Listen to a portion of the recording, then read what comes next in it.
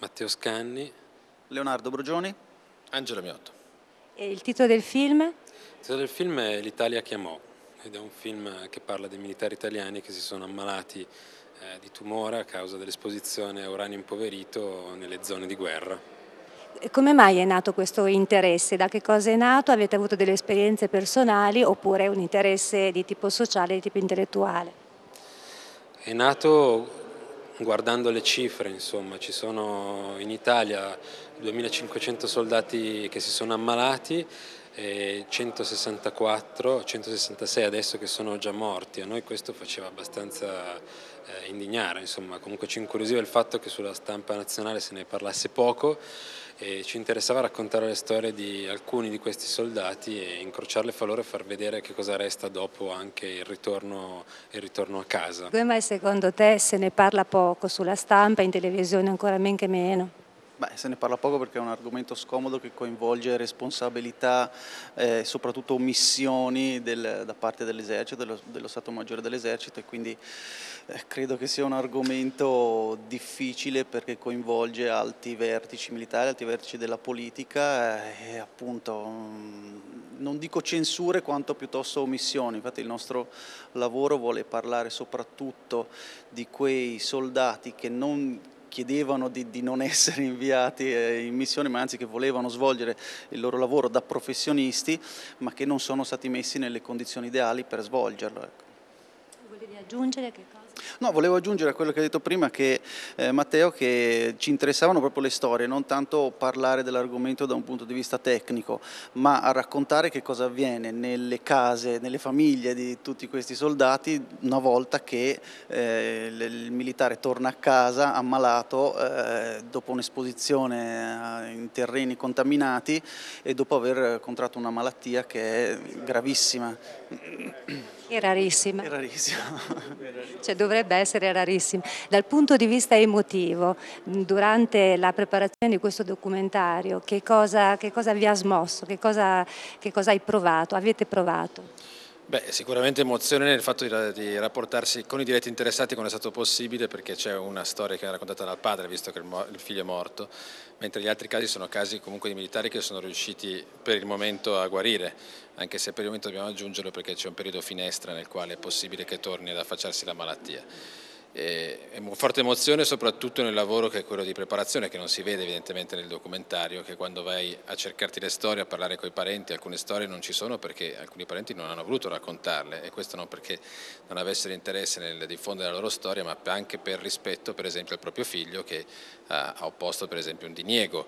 Eh, e su questo non c'era molto da né storcere il naso né da comportarsi diciamo da rapacci giornalisti o comunicatori eh, anche perché c'era invece un profondo rispetto che nasceva proprio anche dal vedere in faccia questi genitori che sono lasciati assolutamente soli eh, dal punto di vista economico, che sembra una cosa tecnica ma in realtà è una cosa che modifica le vite ed è essenziale e poi sono lasciati soli anche dal punto di vista eh, psicologico ed emotivo a loro volta, nel senso che non hanno dei punti di riferimento se non l'osservatorio militare, se non altri personaggi anche molto conosciuti che però lo fanno in silenzio, quindi non li cito, che mettono a disposizione anche delle risorse economiche per permettere questi esami che sono molto costosi.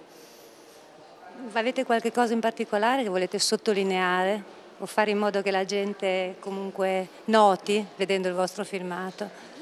Una cosa politica se vogliamo, nel senso che senza dover distinguere per forza, visto che parliamo dello Stato, e lo Stato di per sé, anche se eletto da maggioranze di colori diversi secondo le votazioni democratiche, bisogna capire però di che cosa stiamo parlando in questo caso. Sappiamo che, lo verrà detto anche questa sera, ci sono dei soldi stanziati nella finanziaria che non vengono distribuiti perché mancano regolamenti, mancano regolamenti attuativi per dare i risarcimenti, ci sono cause di servizio che non vengono passate in giudicato e c'è soprattutto un silenzio, eh, per cui la domanda è all'attuale Ministro, visto che quello di prima era quello che ha scatenato il nostro interesse col balletto delle cifre sui morti e che cosa intende fare il Ministro La Russa per esempio, eh, che poi ricordiamo manda i militari eh, per la sicurezza nelle città e via dicendo, sempre parole di elogio, ma cosa intende fare per 2500 e passa soldati che sono ammalati?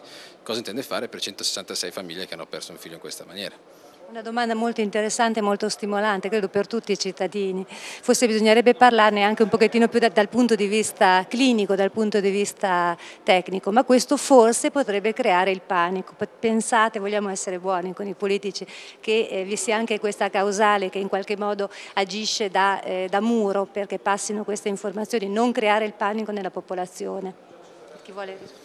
Ma questo non è un argomento né di destra né di sinistra, si tratterebbe di mettere anche un po' fine a questo balletto delle cifre che secondo noi è abbastanza anche poco decoroso, insomma, almeno con lo Stato Maggiore della Difesa riuscire a trovare un punto di incontro su questo sarebbe già un, un passo in avanti. Per quanto riguarda i risarcimenti, all'estero i militari che hanno partecipato ad azioni in teatri di guerra eh, bombardati con proiettili all'uranio impoverito ricevono già eh, risarcimenti e quindi eh, non, c'è un problema da questo punto di vista, americani, francesi, gli inglesi firmano contratti eh, proprio di ingaggio in cui si eh, prevede che in caso di alcuni rischi, tra cui questo, il militare venga eh, trattato in un certo modo e anche risarcito. Ecco, eh, almeno che ci siano i risarcimenti e che anche soprattutto la politica non si dimentichi, non metta un po' sotto il tappeto questo problema, ma riesca a trovare un punto di, di insomma,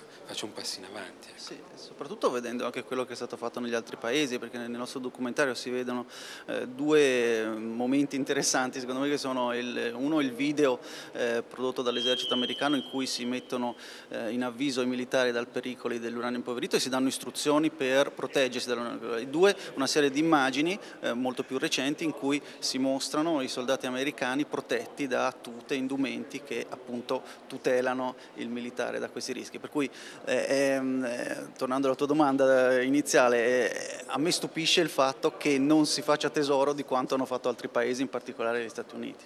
Me non stupisce per niente, comunque l'ultima cosa poi vi lascio andare. No, parlavo di panico in quanto eh, cioè, questo è un rischio a livello ambientale, perché poi voglio dire, questi soldati ci hanno lasciato le penne o comunque eh, sono ammalati, però voglio dire tutti noi non siamo proprio così al di fuori della situazione, perché voi sapete benissimo che l'uranio impoverito è una particella che comunque voglio dire, nell'ambiente ci gode e ci sguazza eh, parecchio e quindi gli alimenti che noi consumiamo, l'aria che respiriamo, comunque eh, insomma eh, non, non, credo no, che sia... credo altre persone, poi questa sera tra i relatori che entra, insomma, interviene sulla catena alimentare anche, però poi c'è anche il problema delle popolazioni civili che abitano i teatri di guerra, insomma basta pensare alle popolazioni attorno a Sarajevo, ci sono degli studi che sono stati fatti abbastanza anche credo eh, oggettivi, non pugnabili perché ci sono scienziati che sono andati con rilevatori che hanno misurato un, un grado di, di, di, radiazione nettamente superiore e sufficiente a provocare delle malattie e delle malformazioni. Grazie.